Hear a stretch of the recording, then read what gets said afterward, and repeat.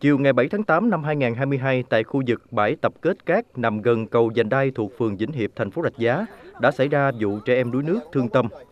Thông tin ban đầu đó là hai trẻ sinh đôi, Võ Ngọc Anh Thư và Võ Phước Thịnh, sinh năm 2020. Hai bé đã trèo lên thành tàu và rơi xuống dòng nước sâu, chảy xiết dẫn đến tử vong.